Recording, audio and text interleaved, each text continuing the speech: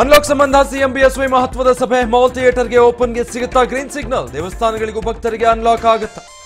ರಾಜ್ಯದಲ್ಲಿ ಮತ್ತೆ ಶಾಲೆಗಳ ಬೀಗ ತೆರೆಯಲು ಕೌಂಟ್ ಡೌನ್ ಹಿಂದೆ ಎಸ್ಎಸ್ಎಲ್ಸಿ ಎಕ್ಸಾಮ್ಸ್ಗೂ ದಿನಾಂಕ ನಿಗದಿ ಸಾಧ್ಯತೆ. ಮಹತ್ವದ ನಿರ್ಧಾರ ಪ್ರಕಟಿಸುತ್ತಾ ಸರ್ಕಾರ.